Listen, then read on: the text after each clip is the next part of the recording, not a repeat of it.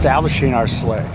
And, and by doing so, we're using a bucket of chum from New Fish Hall, and, and that gives that gives a scent in the water. It's ground up fish, and on top of that, we're um, as you can see, we're chunking up uh, salmon and a mixture of other saltwater species, and and so. Uh, we, we continually, the whole day, we'll be throwing this chunk out, and that's our attractant.